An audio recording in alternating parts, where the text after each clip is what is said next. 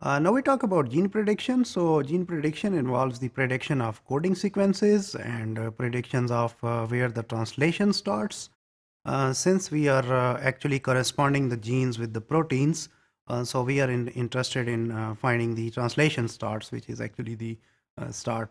it starts with ATG. then we also predict the prediction of splice junctions. in case of eukaryotes, we know that exons and introns their boundaries are marked by these splice sites or splice uh, junctions. Uh, what is the coding sequence? Uh, the portion of genes DNA or RNA uh, that is composed of exons and that uh, codes for protein. So exons put together, they make up the coding sequence. So normally the coding sequence starts with start codon ATG and it ends with one of the three codons, which are the stop codons. Uh, this region is bounded uh, nearer 5 prime end by start codon and 3 prime end by stop codon. Uh, any full messenger RNA um, that is obtained from a gene uh, that can have a CDS. So normally in order to get the coding sequence or CDS, sometimes uh, we get the RNA, messenger RNA and we kind of um, make it its DNA copy, cDNA. that process is called as reverse transcription.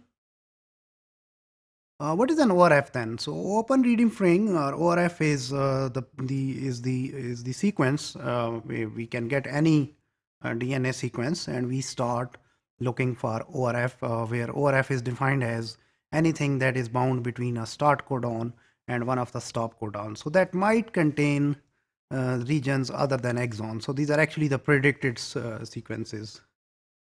Since we are talking about those codons, the triplet codons. Uh, here is how it looks. This is the codon table. So our first letter is U.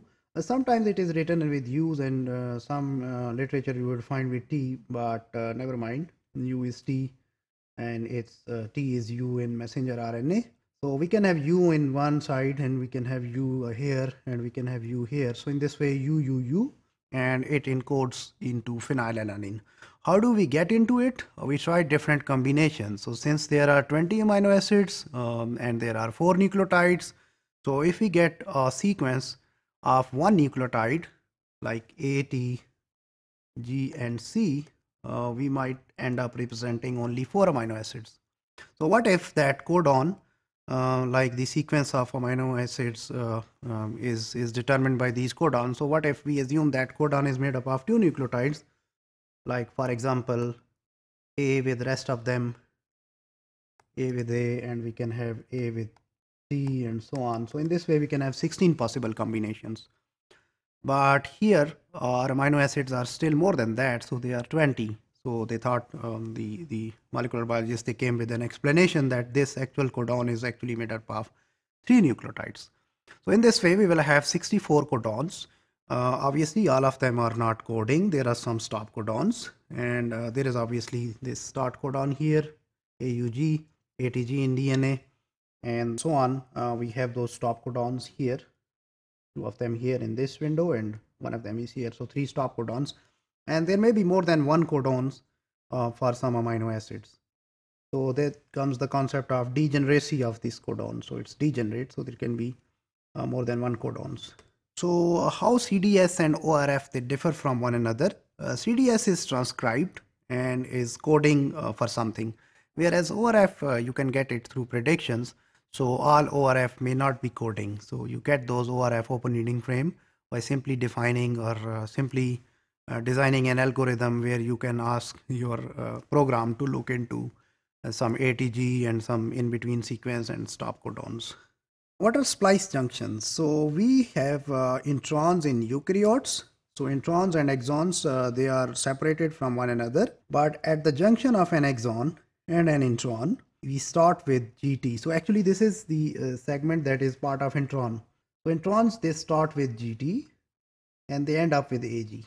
So if we have GTs and AGs and they are spaced by certain distance, we suspect that this region is actually an intron. So the presence of these uh, splice junctions, uh, we call donor and acceptor because of their behavior in splicing. I'm not going to cover that. but they are called as donor site and acceptor site. So these donor site and acceptor site, their prediction is also important in gene prediction. Here is how it looks like in the actual sequence. So you see those splice sites are shown in red here in this diagram, introns are black and exons are blue. So we have GT and then we have a big intron and that ends up with AG and then exon starts and then with GT another intron starts and then ends up with AG. So in this way these introns and exons are separated from one another and we can we can get their boundaries by looking into these splice junctions. This is how it looks like in prokaryotes. Uh, we have uh, genes which are actually transcribed from same promoter. So and every gene uh, within that we can get a start and a stop codon. But these genes uh, they are transcribed from as I said from the same promoter. Whereas in case of the uh, eukaryotes, here we are focusing on only one gene.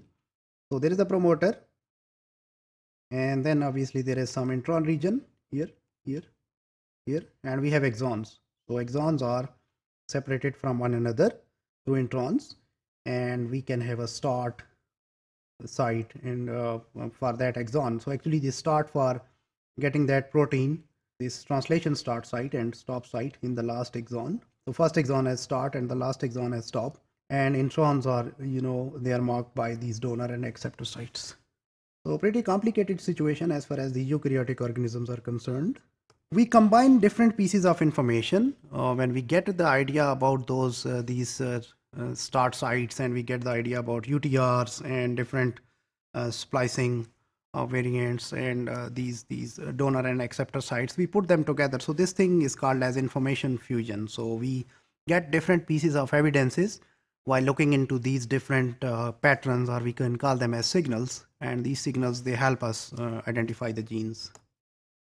Uh, what is the signal and what is the content? So we use these terms uh, most often when we are doing gene prediction. So signal is a small pattern within the DNA, uh, whereas the whole region of the genomic DNA can be called as a content. So for example, splice sites, starts and ends of transcription or translation, branch points, uh, these all things uh, they are called as signals, whereas contents may be the exons, introns, UTRs, and the promoter regions. So, so promoter regions, they have some specific patterns in them. So that pattern is called as a signal, whereas the whole promoter can be called as a content.